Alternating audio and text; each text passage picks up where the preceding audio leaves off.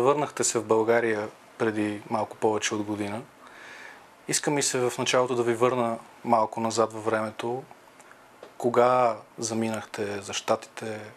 Как взехте това решение? Лесно ли беше то за вас? Заминах 97 година и не беше кой знае колко трудно да вземеш по това време решение да, да отидеш в Штатите и да напуснеш България.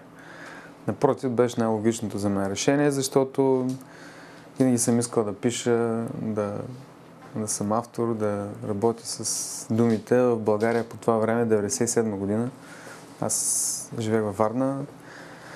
Във Варна имаше нула книжарници. Нямаше. Просто нямаше. Държавното книгоразпространение беше раз, а, държавено, разпродадено, продаваха се чорапи, сухи пасти. А, нямаше откъде да си купиш една книга. Имаше, спомням си, такива серги по, там около, по центъра. Там си купувахме книги или просто идахме до площад Славейков, до София да, да купуваме книги.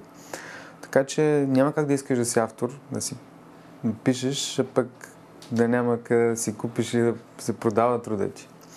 Така че е, винаги съм искал да живея в Америка, казвал съм го много места, вече не ми се ще да се повтарям. За мен беше част от моя житейски път да, да напусна България и да живея в Штатите. И, и се случи и съм много щастлив, че, че успях да го направя. Чувствах се наистина а, като филм, когато отидох 97 Моят филм протече по същия сценарий, по който минават а, филмите на огромен процент от хората, които познавам там. Работиш не, неквалифицирана работа, работиш нещо свързано с ръцете ти, работиш в сервизната индустрия, в обслужваща сфера. Работил съм не, бил съм куриер, а, а, бил съм нощен пазач, бил съм барман, бях страшно дълго време. И всяка от работите ми е давала по, по нещо повече от това, което съм бил преди в България. Бях фотограф. Нали, това беше най-интересната работа. А, защото по някакъв много сериозен начин ме докосна с а, душевността пък на американците, на всички тези хора, които съм снимал. Аз съм снимал всичко от а, филипинска сватба до велосипеди, примерно до продуктово позициониране. Не, как се каже, комерциална така фотография. И така.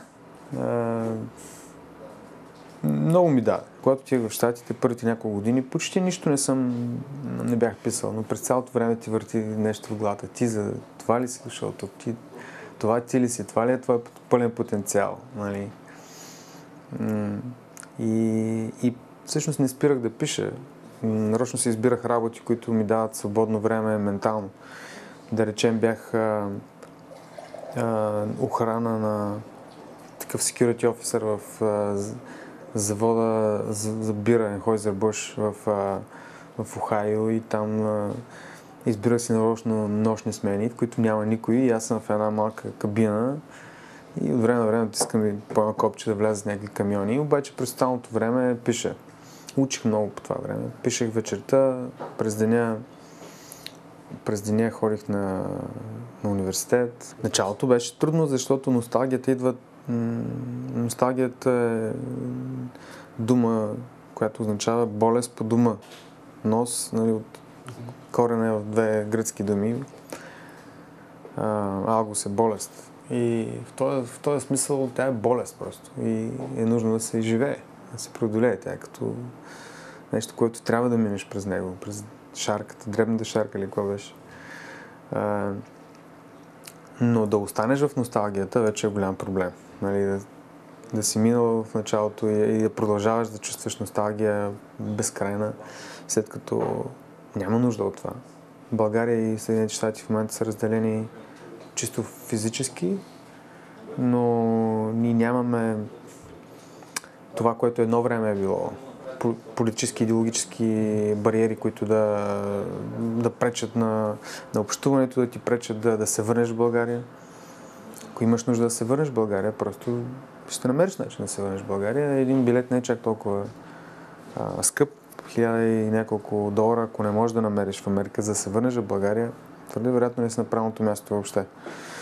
А, така че да изпитваш носталгия е странно. Имаш скайп, имаш телефони, ефтини, комуникацията е без пари.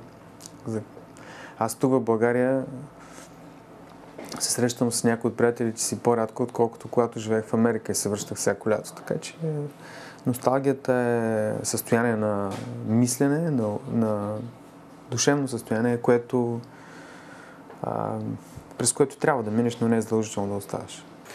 Съществува едно такова клише, че българите в чужбина и особено в Штатите, когато се видят по улиците, се разминават едва ли не и не си говорят. Вие как видяхте там нещата? Така ли е наистина?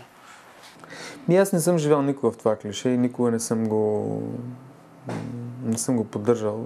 Постоянно, когато се случи, разпитвам човека и разбирам, че той всъщност нямал такъв експириенс, нали? Обаче някой друг му бил казвал. Моят мой опит не беше такъв. Живяхме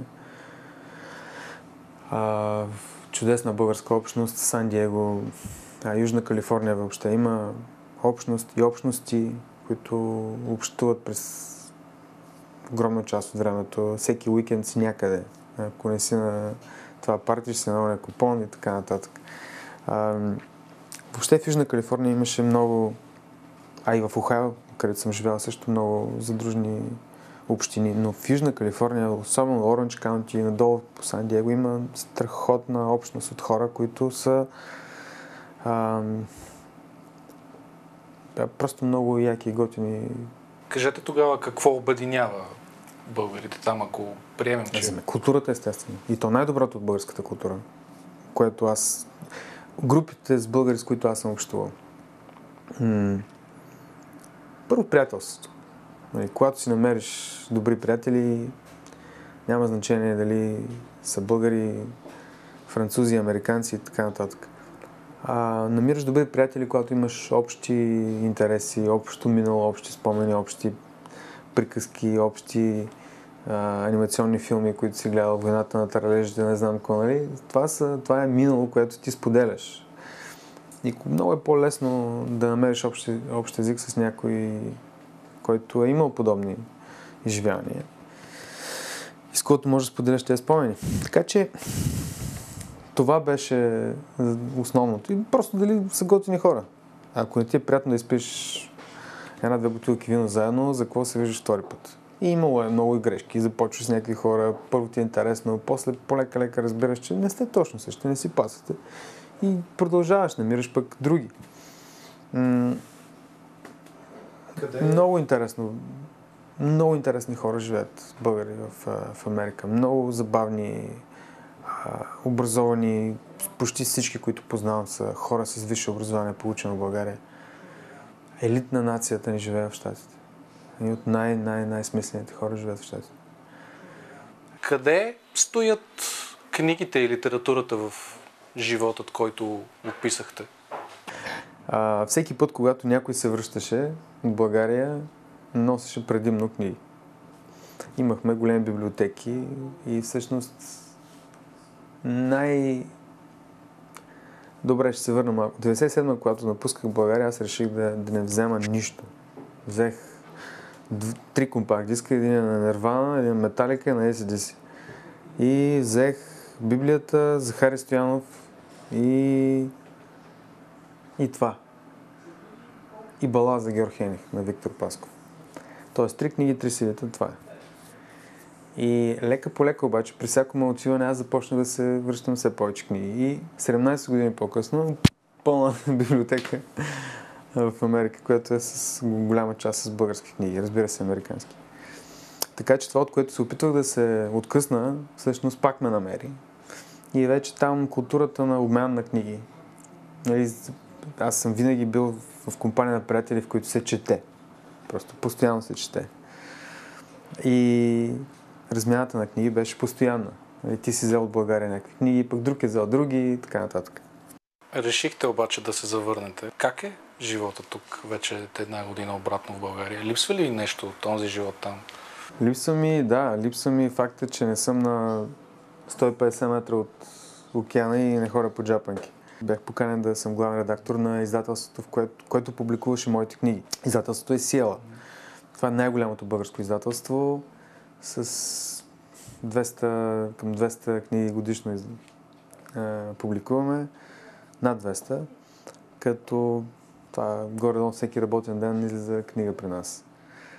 А, това, което аз направих когато дойдох, беше да променя първо работния климат, атмосфера а,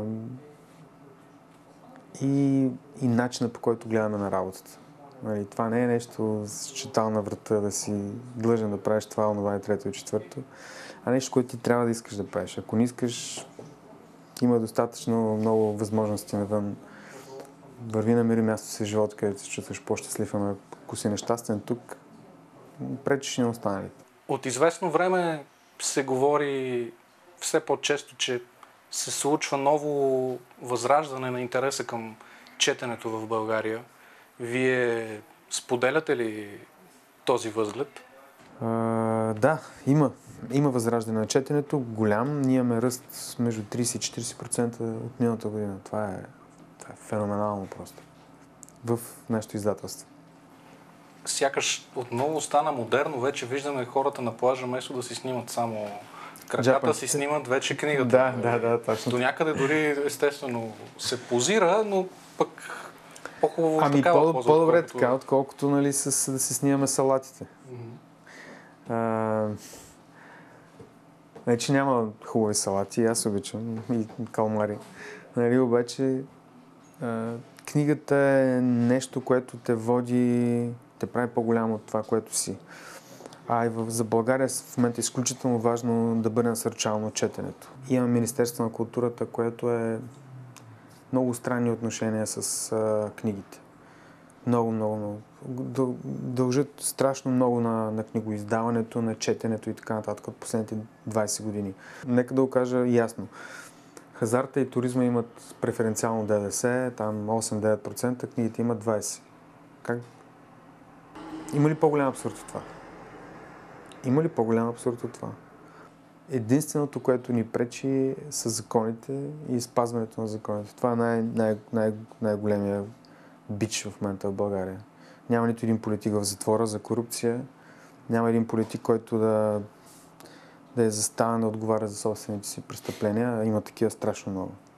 В смисъл, ние имаме престъпници в, в парламента, имаме престъпници навсякъде, по всички етажи на властта.